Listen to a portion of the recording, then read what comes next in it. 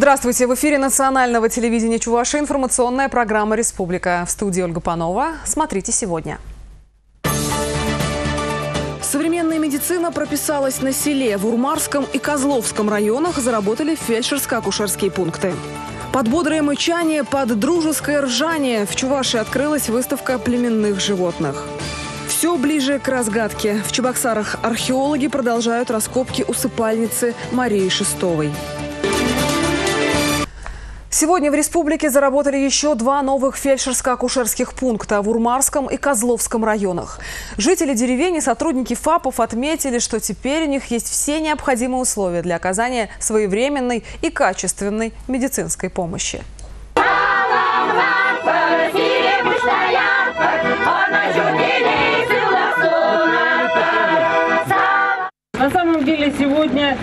праздник. Сегодня мы открываем у вас в районе первый ФАП, но уже по указу главы Чувашской Республики это восьмой ФАП в республике. И это здорово, и это только начало. Модульный фельдшерско-акушерский пункт деревни Старые Урмары будет обслуживать около полутора тысяч человек. Он расположился в трех километрах от центральной районной больницы. Здесь созданы все необходимые условия для оказания первичной медицинской помощи населению. Эти фельдшерские пункты, они востребованы, очень нужны для людей. И абсолютно правильное решение. Медицину от населения отрывать не надо, это очень правильно.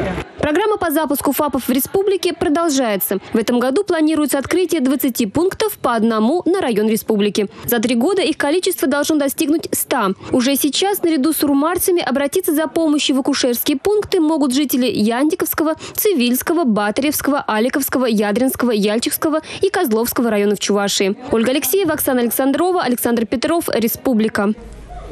8 сентября отмечается День финансиста. В этот день, в 1802 году, Александр I образовал Министерство финансов России. Но сам праздник стали отмечать значительно позднее, с 2011 года. На протяжении своей истории Министерство финансов играло, играет и будет играть одну из самых ключевых ролей в проведении финансовой политики страны.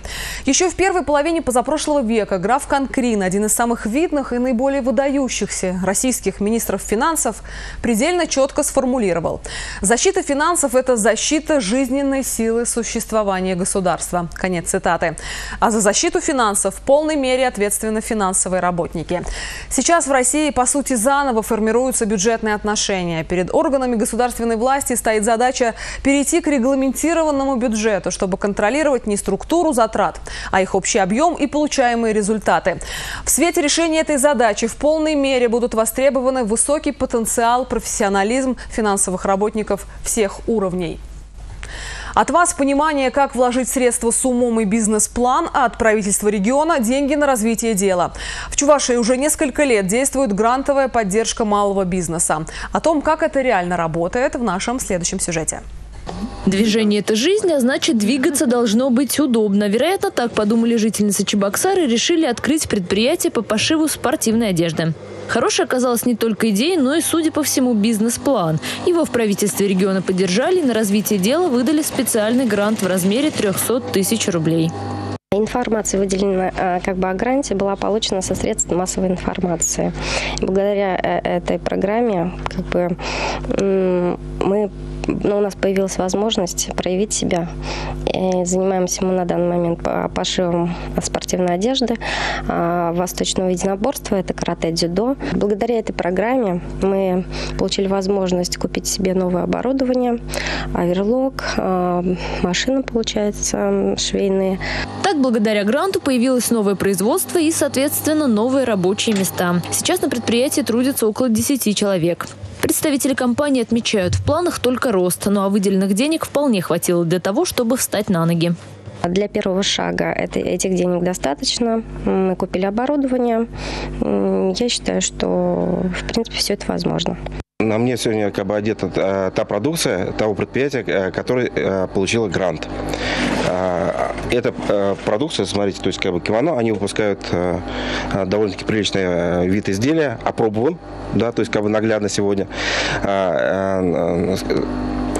И мы всем нашим предпринимателям предлагаем тоже э, приходить за грантами и за другими формами поддержки, которые у нас сегодня существуют, потому что э, нет сегодня, не существует преград для получения э, тех или иных форм поддержки. Например, республиканский бизнес-инкубатор, помимо подготовки документов на гранты, предоставляет в аренду помещения. У нас это сегодня мы ищем инноваторов и новые предприятия, которые способны сегодня арендовать помещение у нас. А, также мы оказываем, а, помимо имущественной поддержки, оказываем также поддержку а, бухгалтерского характера и юридического характера. Специалисты отмечают, грант можно получить практически на любой вид производства и услуг. Иными словами, в тех сферах, где можно составить бизнес-план, за исключением купли-продажи. Под бодрое мычание, под дружеское ржание в Чувашии демонстрировали ценные породы сельскохозяйственного скота. Сегодня в нашем регионе открылась выставка племенных животных. Ольга Пырочкина с подробностями. Эти модели ходят вовсе не по подиуму, и параметры этих симпатичных телочек совсем не 90-60-90. Здесь свои критерии красоты. Смотр коров – одно из мероприятий, которые проходят в рамках выставки племенных животных, то есть тех, которые предназначены для продолжения рода, ну или в данном случае воспроизводства породы. Крестьяне издавна э, отбирали себе животных чтобы они были э, продуктивны, продуктивные, высокопродуктивные и э, отличались крепким здоровьем своим и долго служили. И вот с древних времен крестьяне занимались селекцией животных. Здесь целые палитры животных, птиц и зверей. Заверениям специалистов, стоимость хорошей племенной коровы вполне сопоставима с иномаркой, а в некоторых странах даже с самолетом. Посмотреть на такое богатство приехали и представители других регионов. Я смотрю, вы здесь совершенствуетесь. Вот это направление очень важно. Сегодня мы постараемся все, что хорошее, у вас перенять и внедрять в нашей Нижегородской области. Познакомились посетители с перспективными породами среди мычания, бления, ржания и звонкого кукареканья. Впрочем, были на выставке и те представители фауны, которые вели себя тихо, к примеру, карпы. Кстати, как уверяют специалисты, в этой рыбе на 13% меньше костей. И это тоже благодаря селекции. Всего в выставке поучаствовали более полусотни сельскохозяйственных предприятий в нашей рыночной экономике конкуренция, она возрастает. И если мы не будем в этом направлении двигаться, увеличивать э, количество племенных хозяйств, увеличивать э, поголовье э, племенного скота в республике, то мы можем отстать от других регионов. И поэтому эту задачу мы перед собой ставим, чтобы племенные хозяйства смогли продавать скот, а хозяйства э, другие, оценивая этот скот, видя его, э, могли принимать решения для приобретения этого скота. В следующий раз посмотреть на лучших представителей сельхозпород можно будет в 2015-м. Выставка проводится раз в два года. Ольга Пырочкина, Евгений Анисимов, Республика.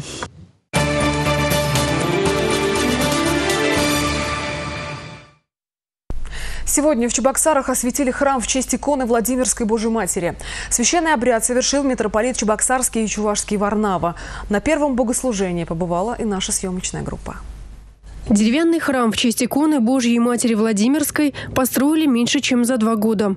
Возвели ее в исторической части города по улице Сейспеля, на том же самом месте, где ранее была построена первая в Чувашии православная церковь.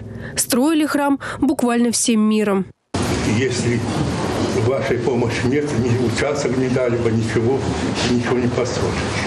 Это уже заслуга ваша, так что при вас вот совершилось. Спасибо за добрые слова. Э, на самом деле наша задача в обществе сохранять стабильность для верующих, в данном случае для православных, создавать условия, чтобы они могли молиться, духовно обогащаться. Новая церковь, хоть и небольшая, зато очень уютная, отмечают первые прихожане.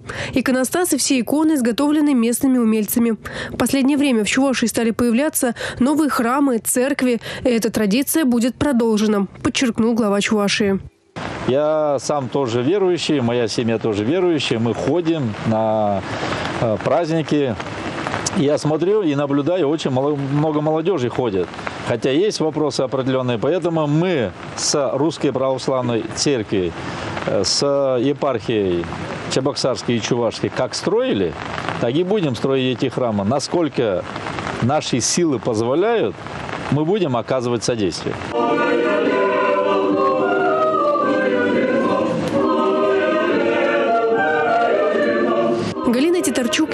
Анисимов. Республика. Неподалеку от нового храма в исторической части города продолжаются раскопки на месте другой святыни – Никольского женского монастыря. После восшествия на престол Бориса Годунова сюда была сослана бабушка первого царя из династии Романовых. Мария VI прожила в Чебоксарах до конца своих дней и здесь же была погребена. Многие предполагают, что ее останки до сих пор хранятся в склепе под землей, но реальных подтверждений этому пока нет. Археологи близки к разгадке. Что удалось обнаружить экспедиции, узнавал мой коллега Дмитрий Ковалев. Каждый день приносит археологам новые открытия. Буквально за неделю им удалось собрать три огромные коробки с находками. Экспедиция находится на верном пути. В этом историки уже не сомневаются. Место погребения Марии Шестовой обнаружили на старых планах монастыря. По всей видимости, здесь находился алтарь. Уже раскопана часть кирпичной кладки. Это первый этаж южного предела. А недавно на поверхность подняли осколок плиты. По всей видимости, ею и был уложен пол собора. Правда, в более поздний период, после реконструкции. Она делалась по слоям из цветных материалов. Это очень дорогостоящее производство, а, что удивительно в нашей местности.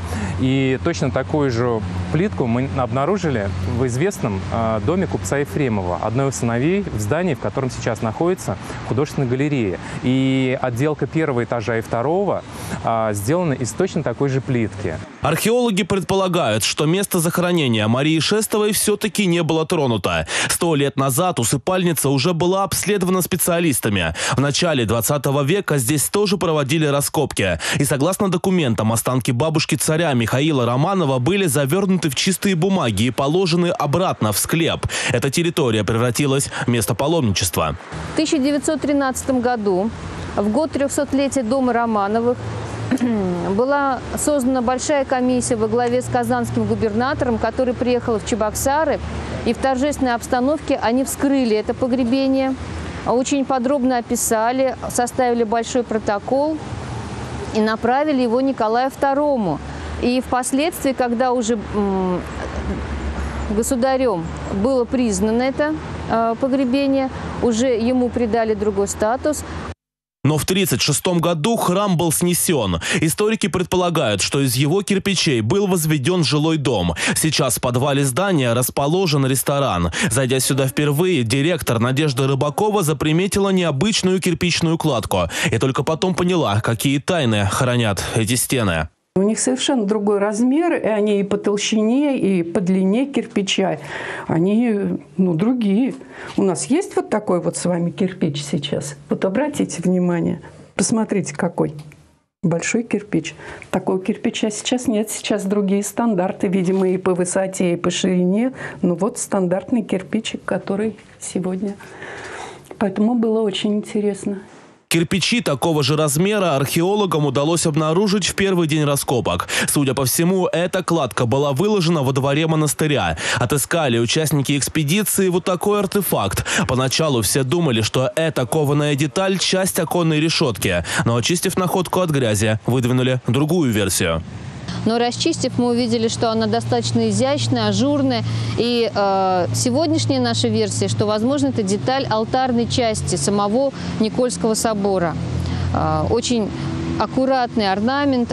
Алтарная часть находилась в одном помещении с усыпальницей. Поначалу это были только предположения, но археологи и краеведы составили точную схему этого места. В раскопках участвуют и студенты-историки. Каждый день участники экспедиции поднимают наверх частички посуды, кости и камня. Просто попадаются обычные кирпичи, которые фундамента, или черепки. Они имеют, черепки, например, имеют историческую значимость, а камень, фундамент нет. Есть азарт, то, что в этой кучке найдешь или не найдешь. И хочется, если найдешь, например, такое вот чувство, то, что да, я сделал какой-то вклад в нашу историю, и хочется дальше, дальше работать, дальше копать. Значение имеет каждая находка. Все, что удалось обнаружить потом, исследуют специалисты. Но, по всей видимости, все версии археологов они подтвердят. Археологи находятся уже в полшаге от истины. Еще 20-30 сантиметров и должен показаться пол усыпальницы Южного предела. Согласно документам, именно здесь была похоронена Мария Шестова. Правда это или легенда, станет известно уже скоро. Дмитрий Ковалев и Андрей Спиридонов. Республика. 12 сентября в Театре оперы и балета начнется новый сезон. Откроет театральный год балет «Сарпеге», который получил в 2012-м премию «Лучший спектакль года» на театральном конкурсе «Узорчатый занавес». 18 сентября состоится вечер одноактных балетов. Наряду со сценическим представлением кантаты Кармина Бурана при участии Чувашской государственной академической симфонической капеллы будет представлен балет «Вечный свет» на музыку Шнитки, Шварца и Уильямса. Объединение двух этих спектаклей спектаклей отметили в театре, было интересным решением. Хоть они и повествуют не об одном и том же, но оба затрагивают извечную тему борьбы добра и зла. В конце сентября зрители ждут на, на концертном исполнении оперы Верди «Дон Карлос». В спектакле примут участие ведущие солисты нашего театра, а также гости из Санкт-Петербурга и Ешкаралы. Опера в пяти действиях будет исполняться на языке оригинала с использованием титров. Труппа театра приступила к репетициям еще одной оперы Джузеппе Верди «Отелло», премьера которой состоится 22 ноября в рамках Международного оперного фестиваля имени Максима Михайлова.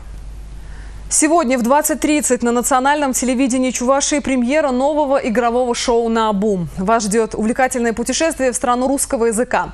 Азарт и желание подсказать игрокам не дадут вам скучать. Участники за считанные секунды должны придумать слово из определенного набора букв. При этом по кругу передается тикающая бомба. Зазевался, бомба взорвалась, а ты вылетел из игры. Все. Тра-та-та, я остался ла-ла-ла. Ведущий программы – шоумен Михаил Морозов, а ее руководитель – Мария Шоклева. Автор таких программ, как «Куча-мала», «Бухты-барахты» мне снится сон. Как будто бы эта игра превращается в телепроект. Как будто я его делаю, пишу сценарий, набираю игроков. Проснулась я с четким убеждением, надо делать такую телеигру. Ну вот, собственно, спустя полгода сегодня она и стартует на национальном телевидении Чувашии. В первой игре в знании русского языка соревновались сотрудники национального телевидения. Людей нужно к телевизорам привлекать, потому что есть интернет, есть э, какие-то другие вещи, которые очень сильно отвлекают. И когда человек подходит к телевизору, и его цепляет передача, хотя бы антураж, э, реквизит, артисты, герои, я не знаю, ведущий. И попутно, если он узнает какую-то информацию ненавязчиво, которая как раз в программе на бум будет она вот в таком вот виде подаваться на блюдечке с голубой каемочкой, мне кажется, зритель должен это так съесть, э, облизнуться и в следующий раз тоже искать эту программу в программе телепередач. Я рекомендую всем прийти и поиграть. Это на самом деле драйв, это адреналин такой хороший. Вот вообще, ну, интересно, это здорово. Принять участие в игре может каждый. Собирайте команду и оставляйте заявку по телефону 64 11 11. Такой была эта пятница глазами корреспондентов программы «Республика». Я, Ольга Панова, с вами прощаюсь и удачных выходных.